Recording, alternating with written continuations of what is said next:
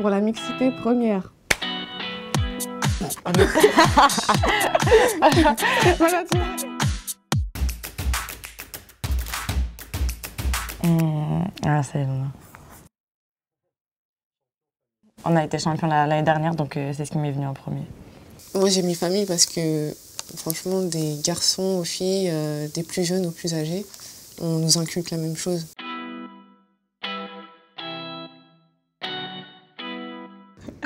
Ça on est gentil. hein. Ça veut dire que vous êtes euh, ben, le meilleur partenaire depuis quand même quelques années euh, euh, pour la section féminine et que vous êtes euh, fidèle, comme elle le dit. Je trouve ça bien de ne pas, pas nous lâcher, euh, même quand ça va pas dans l'équipe et tout. Donc, euh, voilà, fidélité.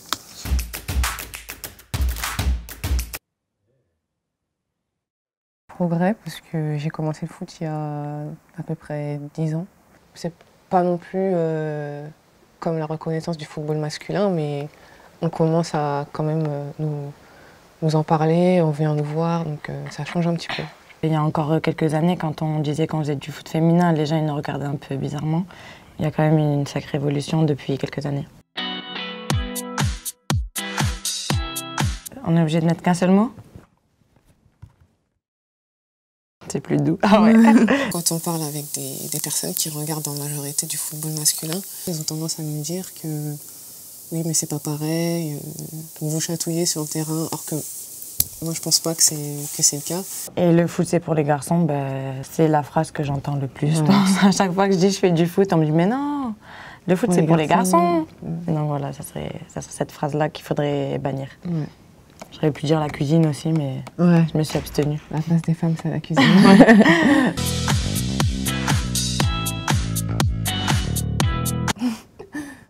de profils différents. Ah ouais, complètement différent.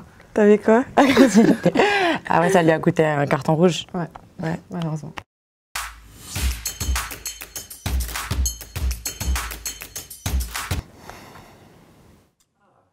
Moi, je pense que le football, euh, au-delà de, des qualités physiques, etc., ça apporte beaucoup de, mental, de stabilité mentale, parce qu'il y a des situations, euh, des fois, qui sont compliquées, et quand on les passe, euh, on peut se dire que mentalement, on a été fort, et je pense que dans la vie de tous les jours, ça peut nous servir.